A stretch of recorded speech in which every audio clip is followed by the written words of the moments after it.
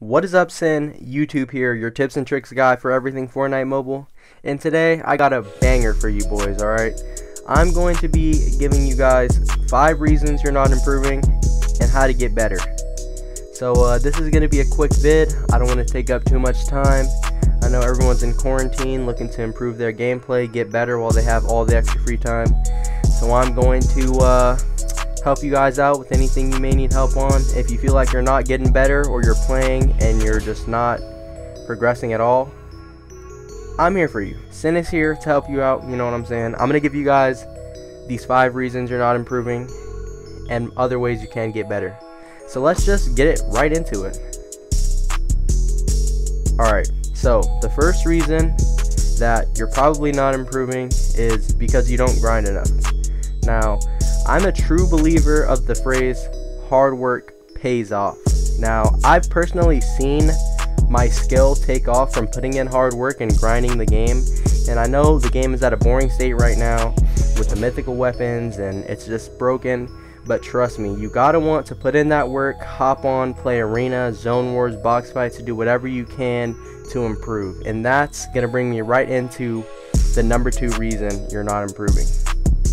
The number two reason you may not be improving is probably the people around you are not helping you improve. Now, this means you're playing with, you know, your friends, you're having fun, but maybe the people you're playing with just aren't on a equal skill level as you.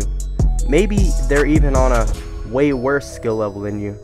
So really, you're not getting any real practice with playing anyone that's not challenging your skill.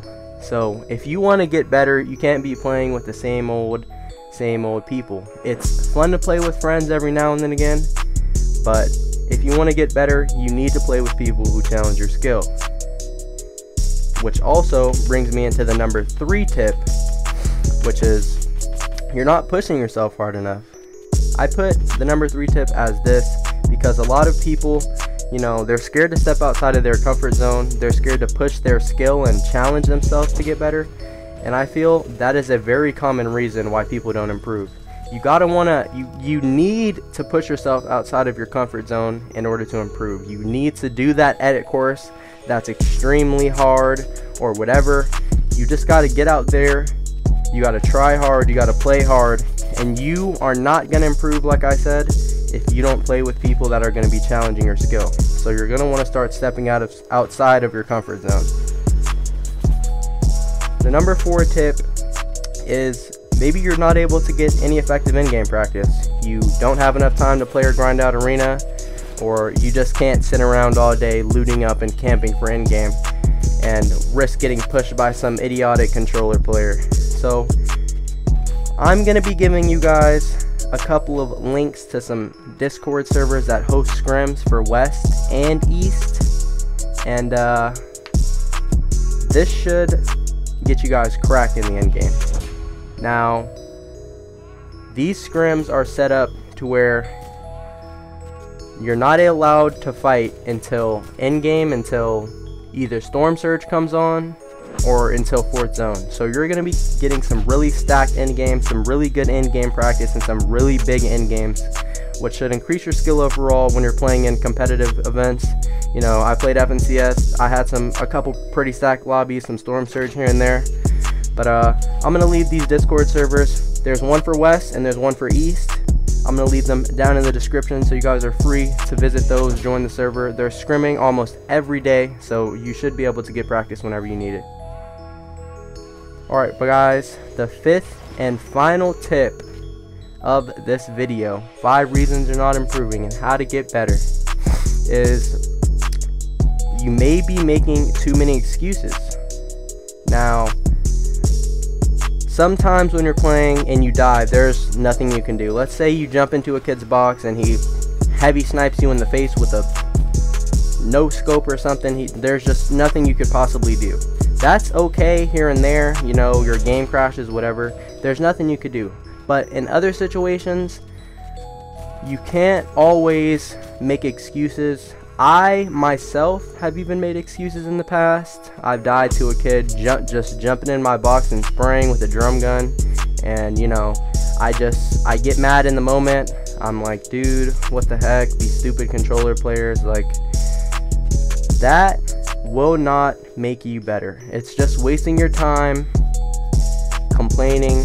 What you really need to start doing is looking back, thinking back on the situation where you died and how you died, and think about what you could have done differently to prevent you from dying in that situation. Now, this will change the way you perceive your gameplay over time. Now, not only will this make you less heated, it will make you way less calm about the game, and uh, it will increase your, your gameplay. You'll be able to improve on the things you need to improve on, and you won't be making any excuses. So, uh, yeah, boys, that's pretty much it. One additional tip I can add is uh, make sure you're VOD reviewing. Make sure you're watching players that are better than you, top players, watch their YouTube videos, and uh, just watch how they play, implement their play style, and um, yeah, boys. Oh, as a matter of fact, I do have one additional tip for all the cuties that are still watching. This is a secret tip for all my all my loyal viewers, boys. All right, listen, listen, listen. If you want to improve your aim significantly, one tip that I made up that I've been using very often lately is queuing into a little bit of duo no fill or squad no fill and turning off aim assist, just relying purely on your own aim. When you get back in regular lobbies or arena lobbies and you turn aim assist back on, you're going to be hitting those shots, boys. Anyways, that's all the tips I have for this video. Hope you guys enjoyed. And uh, yeah, boys, appreciate you if you're still watching. And uh, thank you for tuning in. All my socials are in the description down below. And peace.